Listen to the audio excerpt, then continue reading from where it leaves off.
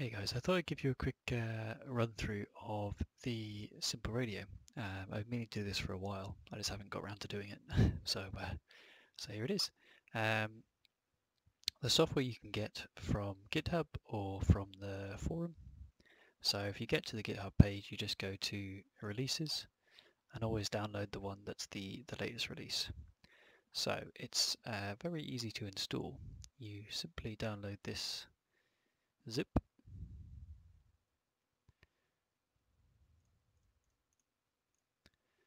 Make sure you extract the zip somewhere. Doesn't really matter where. And I've lost it. There it is. And simply run the installer. Say yes. Uh, so pick where you want it to go. Pick your save games folder. Uh, this is by default filled in for you, but you can always go and get it. So let's go find it now. See users, Kieran. Uh, save games. There we go. And then simply click install or update Simple Radio. So if you already have it installed and want to update it, and you just do that.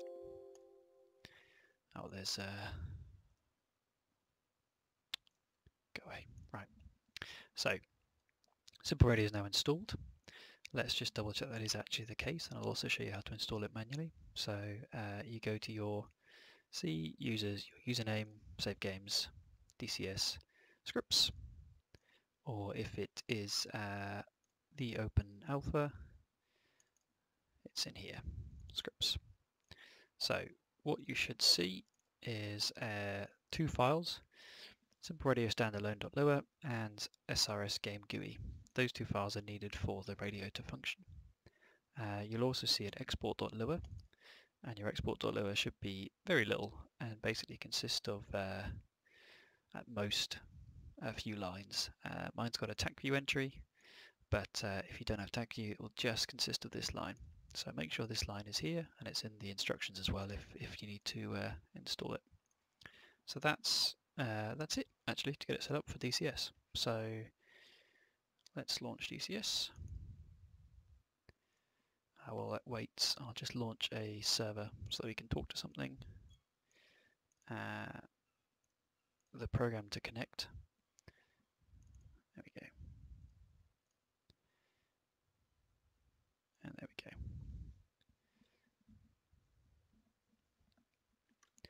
So let me just configure the uh, just configure the hotkeys. So I'm going to use my Warthog throttle uh, for the hotkeys for switching radios. Uh, the hotkeys only work on certain aircraft and I'll run through those in a bit. Um, I'm going to enable radio effects and I want the audio to come out of these earphones. Um, I can preview my audio, so you'll hear me twice now. Uh, so this, is the preview. And that's, that's the preview, the preview without, without audio. audio. There we go. Okay. And this, this is, microphone, microphone boost, boost. So you'll, so see, it gets louder and quieter. quieter. Um, so simply select your headphone, uh, sorry, microphone, select your output device and connect to a server. So actually I'm going to use the Buddy Spike server. So let's go there. There we go, we're connected. So we can just uh, minimize that now and get out of the way. This here is the radio overlay. Uh, this is optional. Uh, it's a bit tricky to move around. Make sure you click on some text to drag and click. Uh, if you have three screens, you'll find that it appears as a single line, but the fix is easy. You just drag it to the edge of the window and then uh, resize. You'll also notice it's resolution independent, so you can have it very big if needs be, and you can change the opacity. Uh, but this is optional. You don't actually need to use this if you don't want to. So let's jump into a mission. Uh, right.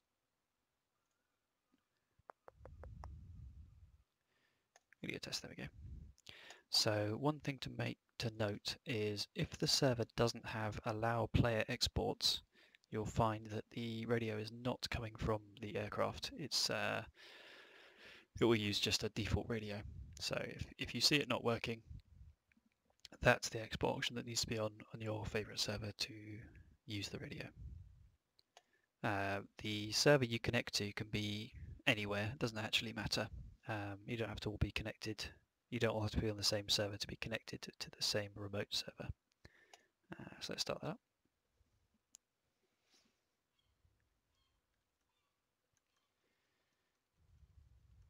I'll close this one as we don't need it.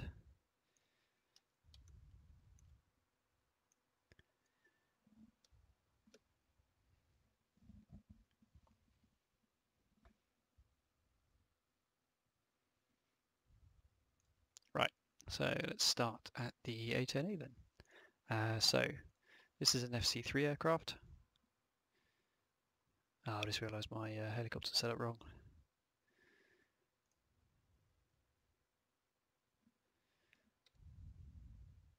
And as it's FC3, the uh, hotkeys work. So you'll see that I'm using my hotkeys to cycle through the different radios, and I can also change the volume on each radio as well. Um, to transmit, I just hold my push to talk and you'll see that the uh, win window now lights up white, which shows that I'm transmitting or receiving on that channel. Changing the frequency is as easy as clicking the buttons. And there are limits built into each radio that are uh, roughly equal to the real life counterpart. So let me switch to a different one now. Uh, so we'll do an A10C.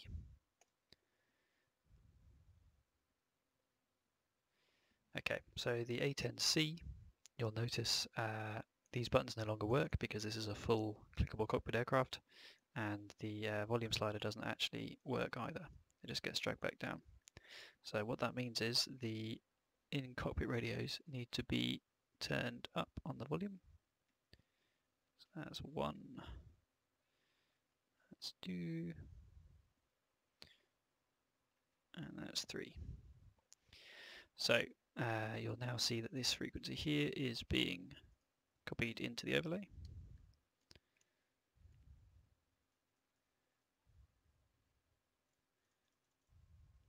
There we go. And uh, make sure that your radio is set to main.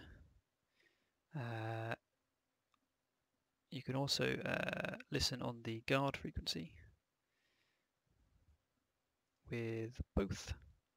So what that means is your radio will receive on this frequency here as well as the guard frequency and make sure your uh, radio is on manual to make sure that the frequency you see here is what actually is being uh, used. So that's the A10A. So the A10A, uh, one thing to note as well, does have hotkeys on its HOTAS. So uh, the hotkeys also work here. So push to talk, and switch radios. There's radio 1, radio 2 and radio 3 you can see here. Okay, let's try the next one. What we got? K4. Okay, so this radio is very simple. It's right here. Uh, you've got volume and you've got two uh, three channels actually, but you can edit them with the mission editor. And that's it. That's all you got to do for this one. Uh, so obviously there's no hotkeys because there's no HOTAS because uh, it's a World War II plane. And it's only got one radio, which you can see there. So let's do the F-86.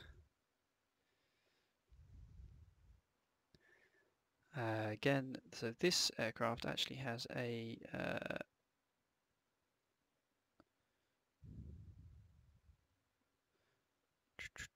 a push to talk button in the cockpit. Uh, so you'll see here, it's right here on the throttle. So if you press that, it will actually do push to talk. Um, you can also obviously use the, the hotkey that you've already bound.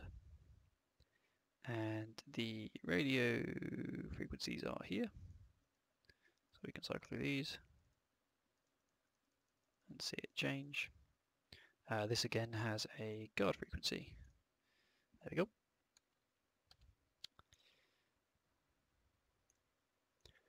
F-15, obviously FC3 aircraft. It has uh, two radios in real life, as far as I know, and it has a realistic frequency set for both of them.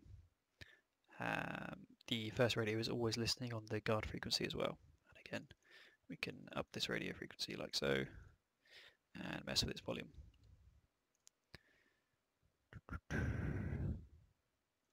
190, pretty much the same as the 109. It's just on the different side. Uh, has a volume control. But uh, unfortunately this isn't reporting the right state to my radio, so for the minute this is disabled. And again, you can change the frequency here.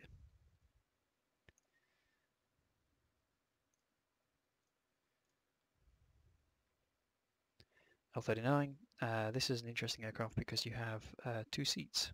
So I can't switch the back seat in multiplayer, but uh, here is the transmit button for the radio. And here is the transmit button for the intercom. So by default your push talk will just talk over the radio, but there is a PTT on the throttle which you can just uh, press the keys for in DCS as normal to talk to the back seat and the volume control for both is here.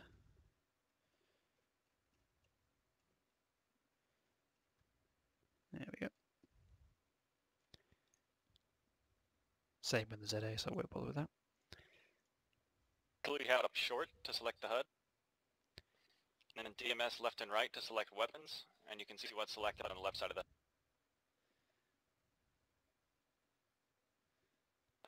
Oh, nice. Okay, I'm just going to mute uh, Buddy Spike again. Oh, stop, Mirage. Uh, so you can actually see someone transmitting there on uh, 129, but I've turned the volume down so we can't hear them.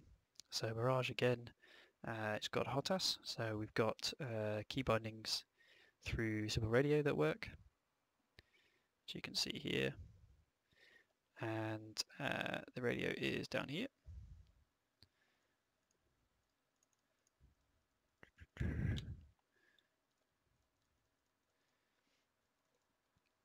It supports both the channels and the manual mode depending on which mode you got it in.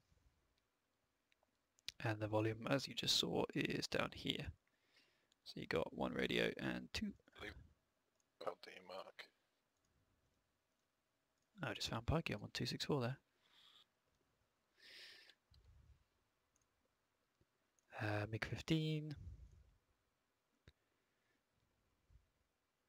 Again, it actually has an in-cockpit push-to-talk, which we can use, like that.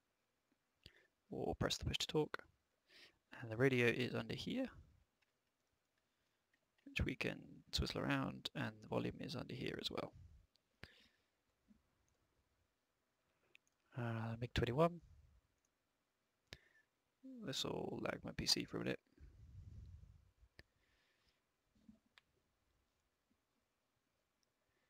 Down on MiG-21.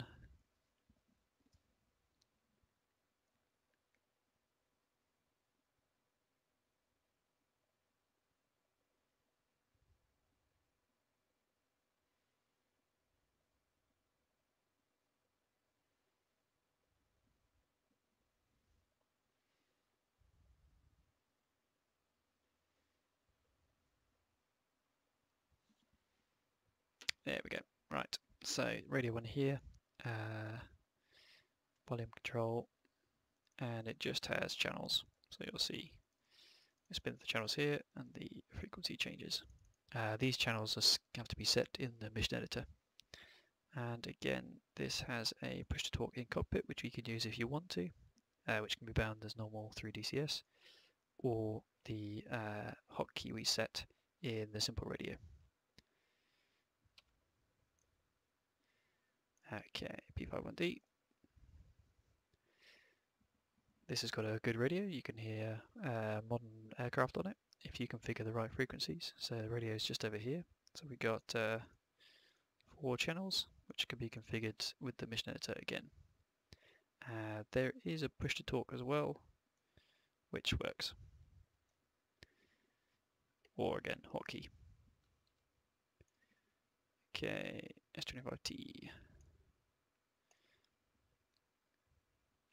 Two radios and obviously FC3 so we've got hotkeys switching between the two uh, if I didn't make it clear earlier the green dot indicates the current radio you're going to speak on and SU27. Why not?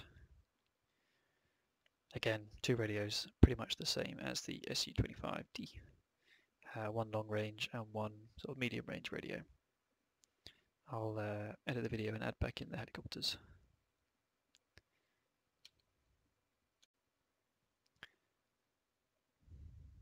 Alright, I just added the uh, helicopters back on and then uh, I'm just going to do it on single player, but it will still work. So we're now in the MI8. The uh, way you change which radio you're speaking on is here. Uh, sorry, there we go. So you'll see here each radio we select changes the dot here. Uh, you've got three radios. You've got the uh, Jadro down here, which is uh, the bottom radio. You've got your uh, normal radio here, which you can change the frequency on. Again, you can listen on the guard channel with this, and that's what the G indicates. And you've got your third radio here, but make sure when you change the frequency, you also press the tune button, which will change the radio and tune it in. Again, uh, volumes are built into the cockpit, so you can just use the mouse wheel on each one of those, and these obviously don't, don't work. And there's also a push to talk built onto the stick, which you can just see here. So if I click that, I'll now see we're transmitting. And that works in the Copilot seat as well. There we go. And again, we're transmitting. Uh, let's do the Huey. Oh, it's K50. Right. Black Shark's got uh, two radios. You switch between them uh, down here. So that's radio 1, that's radio 2. That's nothing. Radio 1, radio 2. Uh, again, your radio is here. It's got a guard channel and it can also switch between AM and FM, which is quite interesting. There you go. Uh, you can turn on guard or not. And uh, so this one, when you turn on guard, actually changes the radio to listen on the guard frequency. So it hasn't got a, a listen on guard, unfortunately. And again, change the frequency here. That works fine. And your other radio is over here. And again, we've got channels and volume. So that's that. Let's do the Gazelle. Okay, so the Gazelle doesn't have uh, HOTAS controls. However, the uh, radio panel is currently mostly inoperative other than the volumes. Uh, so what I've done for the minute is enabled the hotkeys as you see here uh, to work on the Gazelle. But when this is enabled, it will be no longer done through the hotkeys, it will be done properly through the cockpit. And we've got volume here as well that works, as you can see. Okay, so lastly, the Huey. This uh, has a very easy radio selector. So the radio selector on the Huey is over here. Uh, so you'll see switching between them switches between the radios. Um, again, this is a uh, got a guard frequency option on the radio, so off obviously turns it off. We go TR plus G and list on the radio, and then we can change all the frequencies as well as uh, the volume on all the aircraft radios and lastly the FM one here. There we go. So obviously when you're, if you're cold start, make sure you turn all your radios to TR and uh, keep them on manual if possible. So you can pick what frequency you actually want. And that's it. So the only gotchas to make sure are that the server has the player's export option uh, for the server you're on, otherwise you won't be able to use the cockpit radios. Uh, make sure you use a joystick to bind these controls here. Uh, I'm going to take away keyboard because it doesn't work properly. Uh, DCS takes the keyboard input so I can't pass it to my radio. Um, here you can configure the radios. You can do this as well while the game's running and you can launch these overlays at any time when the game's running. You don't have to start DCS first. So you can also not use that overlay as well if you want to. It's up to you. Uh, and again, this is microphone boost. So just to give you an idea of what uh, running a server is like for it, I will just uh, load up the new server. So there we go. To launch the server, you just double click on that. Let's connect to the server. There we go. Uh, you can secure the radios such that each side can't hear the other. So if you turn this option on, red can only hear red and blue can only hear blue and spectators can only hear spectators. Uh, if you turn this option to disabled, uh, spectators will no longer be able to transmit at all to each other, but they will be able to hear. So those options take place immediately, you don't need to restart the server. Uh, there's also a client admin panel here, which has obviously got the kick and ban buttons, so you can kick me. And you can see here I've been disconnected, so let's reconnect. Uh, nicely you'll see there's a, uh, a coalition indicator here, so if we just jump to multiplayer and start server up.